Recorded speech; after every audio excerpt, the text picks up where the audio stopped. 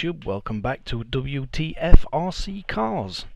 Right, we've got something a bit different for you today. So, since though we're all on lockdown, thought I'd do a bit of a tutorial on how we get the Noble NB4 working with VRC Pro. So, let's see if we can uh, make the screen a bit bigger for you. Now, it's going to be a bit iffy because it's a webcam recording the actual uh, footage, so but basically, what I've done, um, what I find makes it easier on mine anyway, uh, if you set a model memory up, so set yourself one foot PC, and then just have everything zeroed out. So all your servos, all your exponential, everything, just have it all set on zero. Then you want to go into system, sounds, turn your alarm sound off, vibration, turn your vibration off, and then come back out there and you want to go all the way down to USB functionality, have it set on Noble Emulator. Once you've got that set, you can come back to uh, your normal screen. Then you want to get a standard USB cable USB micro USB B and then connect that into the bottom of your controller just as you would when you charge him. Let's jump back to PC now. So I'll just minimize that down and if you go to your start menu uh, let's go for normal control panel device and print as you want next and then you'll see it detected as a Noble NB4.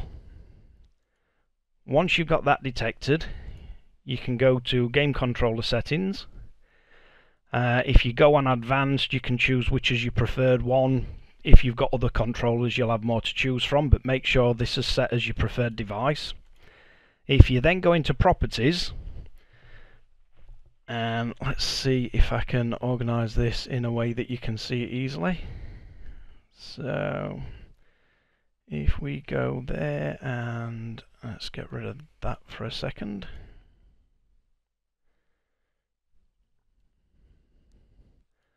Make that a bit bigger so you can see what we're doing. So if you look on here, you can see it's picking up your extra buttons and the Z and X. So let's see. Uh, I have to have it selected. So you can see there, that's moving one, your throttle, that's moving the other, and then depending on what buttons you've got configured, you will have uh, some adjustability of the other uh, axis. Now, you don't necessarily need to set these up at first and this is all dependent on what you have configured in your actual controller. Um, but you can change all the settings of what buttons you want assigned. But basically just to start off with you just need your X and Y axis to work. So that's steering and throttle. As long as they're showing up you're good to go to the next step. So we get off that. And then you want to go to Let's move that out way for you for a second. Uh, so if you go to vrcworld.com, sign up for a free account. Um, you don't have to do the Trifull membership or anything like that. Just create yourself a login account. Once you're logged in, click on downloads. It'll bring you to here. Um, I don't see why they do an archive file because then you've got to download it, right click on it, extract to, and so you can just download the setup exe. Once you've downloaded that, if you're using Chrome, you'll get a little box down here. In fact, I'll click it, make it easier for you. So it'll basically ask you where you want to download it to, and then you just save it. Doesn't take long to download because it's not a really big file. Uh, but once that's downloaded, you'll then get the option of running it. What we got? We only got 15 seconds left, so it's not worth cutting this bit out. It's not too long to wait, I should hope. But once it's downloaded, you will be able to view it. And two, one, done. Right, so if you click on there, you can either click open and it'll run it, or show in folder. Click show in folder and it will bring it up to a... Uh, it'll basically just open that and downloads. So all you have to do is double click on it to run. That'll just go through and install. Uh, once that's installed, you will get on your desktop an icon like that. So once that's downloaded, installed, you'll get this icon, double click on it, That'll check for updates. If there is an update, it'll download it for you. If you're having problems with the program, you can click full check and it'll check all the install. And then you just click start.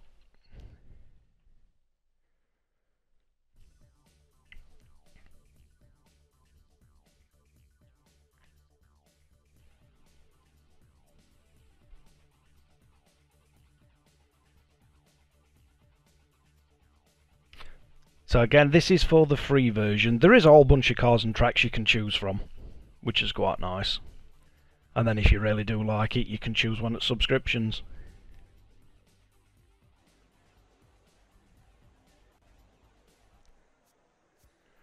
So here we go. First thing you want to do is go into options, control options. From the drop down menu, choose your controller.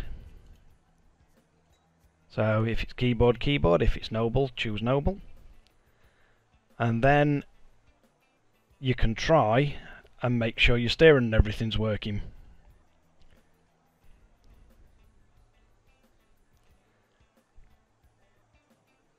So once you once you're confident they're all working, what I would do the steering exponential to start with is set at, I think it's something, it's either plus or minus 20. Set it back to zero because it feels horrendous.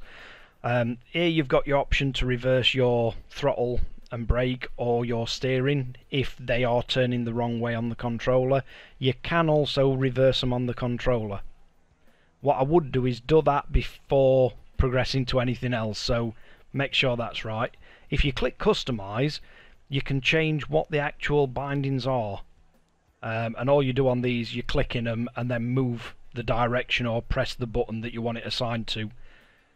Um, that's all pretty easy and you can set it back to default.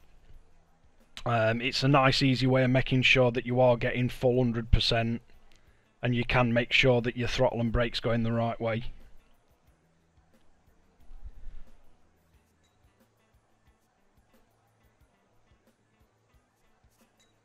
Most modern PCs will pretty much max out everything you've got on here. Um, the only time I'd say back anything down is if you're running it on a really underpowered laptop. Um, the more work your PC is doing, the less responsive your controller will feel. So if you are suffering from latency input and lagging and stuttering, back some of these settings down. Um, the anti-aliasing and effects, they will hit your graphics card. Um, so you can just go through backing them down. Last ditch attempt, you can also drop the resolution of the game down. Again, just depends on what what kind of spec system you're running. Um, these smoke effects and that they will also hit performance, but any reasonable spec PC will run anything. Um, and from from a basic setup point of view, that's about all you need to do. Any settings you do change, it will save it. Um, track selection, on the free one you've got all these. So let's, uh, let's jump into that one quickly. And then you can choose your car. And if you've got the subscription or the full version, you can use modified, but spec class is fine just for getting a grip of it. And then you just tell it to load what class you've chose. Um, you can hop into online racing, you can go on to practice, you can set your difficulty and everything. Um, you can even set the uh, weather situation for that site. I'll leave everything set on easy because I've got to try and use that controller sideways while it's still uh, in view. But um, basically, you, you can recharge your battery, it tells you what you've used. If you're on a nitro, it's your fuel tank. Change your steering angle. Um, usually knock that up a few. And then it gives you a little countdown as it's doing it. And then you can hop into it. So,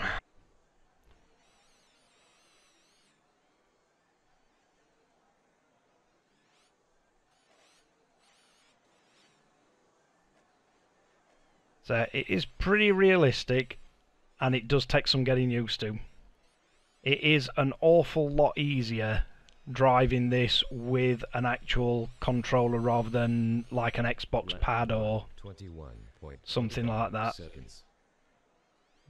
But it is fun and it will give you a chance to uh, practice while we're on lockdown and you're not allowed out. Stop you getting rusty. But it is fun. Uh, online you can have up to 10 cars on the track at once, I believe. As long as whoever's hosting the actual race has got quick enough internet to support um, all 10.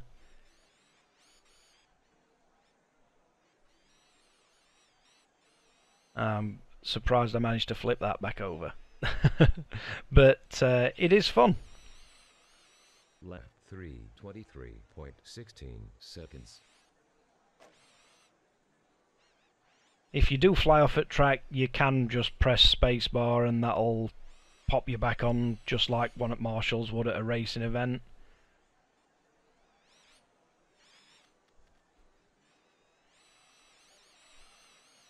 Left 4, 22.41 seconds. But you can you can have full qualifying um, if you're hosting a race. You can have practice. You can have pit stops in it if you like. So if you want to host a longer race, you can have pit stops to charge battery or refuel. Left 5, 19.71 seconds.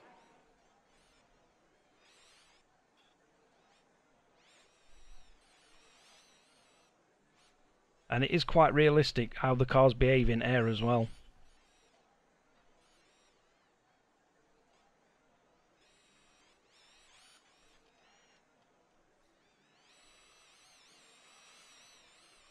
Left 6, 26.61 seconds.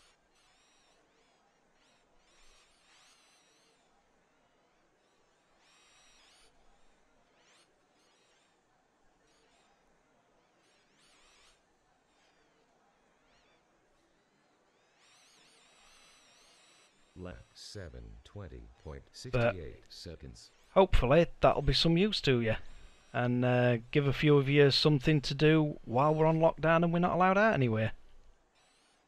So, thanks again for watching WTF RC Cars. If you like, like and subscribe. If you don't, give it a thumbs down. And any comments, leave below.